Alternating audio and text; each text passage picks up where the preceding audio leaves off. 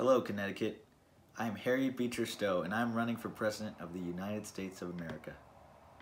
I am a white, female, American abolitionist, author, and social activist, actually born and raised right here in Connecticut. You probably know me from my first book, Uncle Tom's Cabin, and or my very famous religious Beecher family. I'm up here running for president today because I believe I'll have the power to abolish slavery in America. But a government is nothing without its people, right? So I'll be taking questions from the crowd now. Oh, and my voice may sound a little deeper because I'm feeling a little under the weather today. Why did you write Uncle Tom's Cabin? When I wrote it in 1852, just two years before that, Congress had passed the Fugitive Slave Law. I'm sure you all know that it started unjust treatment towards African American free men, women, and children, and fugitives. I, I also quite possibly had a vision from God Himself of a dying slave during a communion service I had at Brunswick's First Parish Church. Combined, I was outraged by the law and inquiring into my vision. I felt the need to get my voice out there somehow. So I wrote Uncle Tom's Cabin, describing the horrible conditions and abuse African American slaves had to go through. How much did that book make?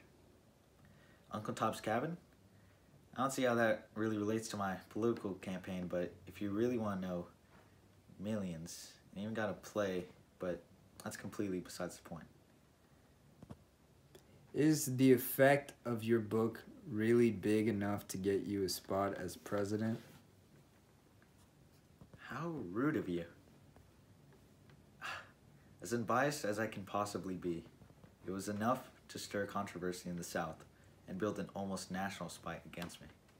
It was enough to, within a year, cause the name Eva, a main character in my book, to rise up in popularity by the millions, especially in the Boston, Boston area.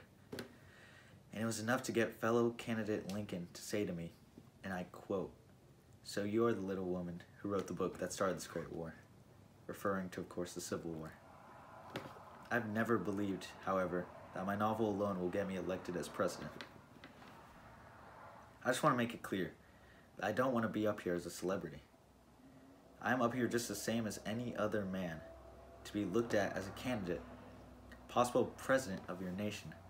So if we could please steer the questions away from focus on my novel to actual concerns for the country, that'd be amazing. Ah yes, you there. Slavery has fueled half the economy ever since I was born. How will we live without it? With the invention of the cotton gin, Southerners believe that they can have and monopolize on slaves even more. But they are far from the truth, as this just means that not as much labor force is required. With this, we can introduce the American way, the true American way, into the South with the open opportunity for all to do the same jobs as African American slaves are doing right now, but with more regulations and equal pay. Well, that looks like all the time I have for now. Thank you, America. The next time I come back here, I should be president. Goodbye for now, Connecticut.